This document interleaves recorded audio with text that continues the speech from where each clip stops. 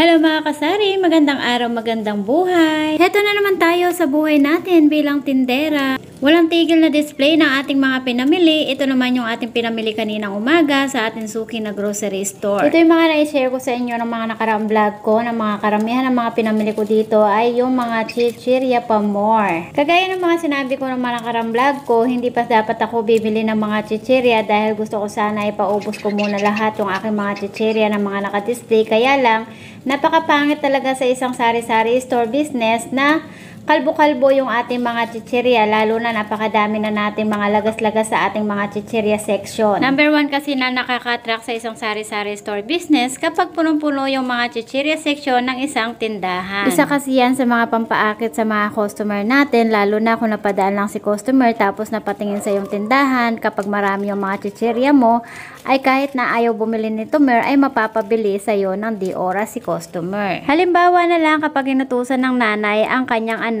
para bumili sa tindahan ng suka. Pero kapag nakita niya maraming chichirya, yung bata ay talagang mapapaakit at mapapabili ng di oras sa mga chichirya. Kahit na hindi inutos ng kanyang nanay na bumili ng chichirya, ay mapapabili lalo na kung may sukli pa ito, di ba? Napakalaking tulong ng mga chichirya natin sa isang sari-sari store business dahil bukod sa fast moving ang mga ito, ay dito tayo bumabawi ng ating benta sa pang-araw-araw. Lalo na kapag ganitong tagtumalang ating negosyo, ay dito tayo talaga bumabawi ng benta sa mga chichirya dahil ito na lang ang kadalasan na pang-araw-araw natin na malakas sa ating tindahan. Kaya bilang sari-sari store business owner ay hindi natin pwedeng hayaan na mawalan tayo ng mga chichirya dito sa ating tindahan dahil araw-araw talagang nabibenta ito sa ating tindahan. Malit man ang kita natin dito kapag naipon ito ay malaki na rin. Kaya mga chichirya, wag ismulin.